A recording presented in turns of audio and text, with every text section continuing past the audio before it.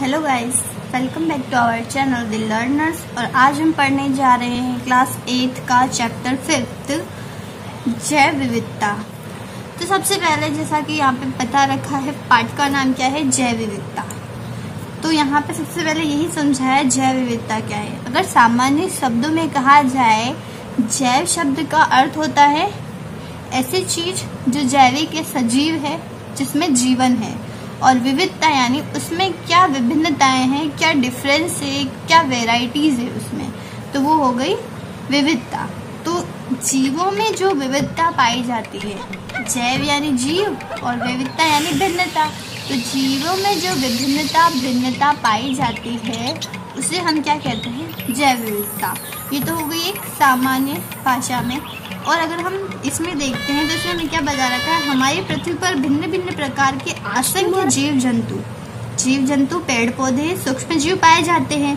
विभिन्न आवासों मतलब उनके विभिन्न घरों वातावरण उनके चारों तरफ़ कैसा वातावरण है? बरसात है गर्मी या अधिक ठंडी है ये पाए जाने वाले सजीवों की प्रकृति उनकी शारीरिक संरचना भिन्न भिन्न होती है। तो जो जैसा वातावरण होता है उससे के अनुसार उनकी क्या होती है? सजीवों की शारीरिक संरचना भी उसी तरह भिन्न भिन्न होती है। दे रखी है, हमारे आसपास में पाए जाने वाले पेड़ पौधे और जीव जंतु यहाँ हमें क्या करना है? पेड़ पौधों के नाम लिखते हैं और इधर जीव जंतु के। कुछ जिस नस्ल का एक जंतु है तो कहीं और पर उसी नस्ल का दूसरी भिन्नता वाला जंतु भी पाया जा सकता है। हर जगह एक ही नस्ल की गाय नहीं होती, हर जगह एक ही नस्ल के अन्य जीव जंतु नहीं होते वो उनकी स्थान की अनुसार उनकी आवश्यकताएँ, उनकी शारीरिक संरचनाएँ बदलने लग जाती है। तो अतः किसी क्षेत्र विशेष में पाए जाने वाले पेड़ पौधे जीव जंतुओं की प्रजातियों उस क्षेत्र की जैव व्यवस्था कहलाती है। मतलब किसी पर्टिकुलर जगह पर रहने वाले पेड़ पौधों की विभिन्न, में जो विभिन्नताएँ होती हैं प्रजातियों में, उसे ही हम क्या कहते हैं? जैव विविधता। तो क्या संपूर्ण भारत में पाए जाने वाले जीव जंतु पेड़ पौधे सूक्ष्म जीवों की प्रजातियाँ समान है? नहीं, सभी पूरे भारत में ऐसा है ही नहीं। आइए जानने का प्रयास करते हैं। हमारे देश के विभिन्न भौगोलिक क्षेत्रों की वातावरणीय अवस्थाओं की भिन्नता के कारण इनमें पाए जाने वाले जीव जंतु और पेड़ पौधे प्रजातियाँ भी भिन्न है। संपूर्ण विश्व में लगभग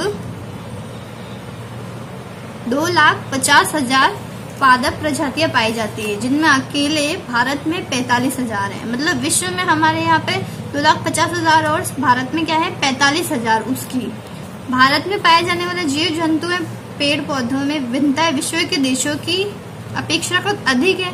मतलब भारत में ये विभिन्नताएँ कुछ ज़्यादा है। इस कारण भारत को जैव विविधता से संपन्न राष्ट्र कहा जाता है। क्या आप ऐसे जीव जंतुओं के बारे में जानते हैं? अब इससे चार प्रकार में उनको वर्गीकृत किया। ये बहुत इंपॉर्टेंट है। पहले जिनका कोई भी प्रतिनिधित्व वर्तमान में नहीं है। यानी कि अभी प्रेजेंट में ऐसे जीव जंतु नहीं है, जो कि हम पहले हुआ करते थे डायनासोर वगैरह। तो उनको क्या बोलते हैं हम? विलुप्त। जंतु प्रजातियों में कौन कौन से हैं? डोडो बख्शी ये इसका डायग्राम दे रखा है। जंगली कबूतर woolly math mammoth Tasmanian tiger ये सब क्या है? जंतु प्रजातियों में विलुप्त हो चुके हैं। पादकों में क्या है? सेंट हेलेना जैतून वुड्स साइकेडस कोकिया कुकी तो ये सब जो है, ये पादप प्रजातियों में है जो विलुप्त हो चुके हैं। फिर है, प्राकृतिक आवासों में विलुप्त। जीव जंतुओं में पेड़ पौधे की ऐसी प्रजातियाँ जिनका कोई भी प्रतिनिधि प्राकृतिक आवासों में जीवित नहीं है। मतलब हम इनको नॉर्मली नहीं देख सकते पेड़ पौधों जंगलों में घूमते हुए, अब नहीं पाए जाते। इन्हें कृत्रिम आवासों में जीवित अवस्था में आज भी देखे जा सकते। तो इन्हें हमने क्या कर रखा है संरक्षित करके रख रखा है, क्योंकि इनकी संख्या बहुत कम हो चुकी है। जंतु प्रजातियाँ जैसे हवाई कोवा वोमिंग मेंढक, काला मुलायम, खोल कछुआ। पादप प्रजातियों में है काली, मतंग, मैंगो, कस्तूरी। फिर आती है संकटापन प्रजातियाँ। जीव जंतु में पेड़ पौधों की वे प्रजातियाँ जिनकी संख्या निरंतर घटती जा रही है। यदि समय रहते इनका संरक्षण नहीं किया जाए तो एक दिन ये विलुप्त वाली कैटेगरी में आने लग जाएँगी। तो इन्हें हम बोलते हैं संकटापन प्रजातियाँ। जैसे कि जंतुओं में है ये एशियाई सिंह, गंगा नदी की डॉल्फिन, कृष्ण मृग, एक सिंह वाला गेंडा, डिजर्ट, लिजार्ड घोड़वन सोन चिड़ैया गिद्ध बिजू आदि।